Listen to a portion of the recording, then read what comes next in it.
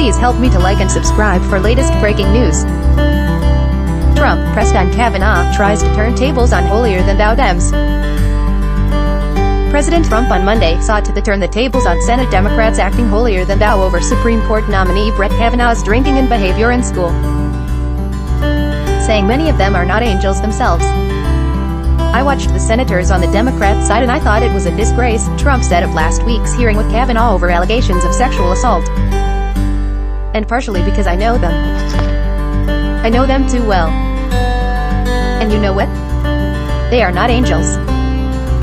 Taking questions in the Rose Garden during a press conference on the new trade deal.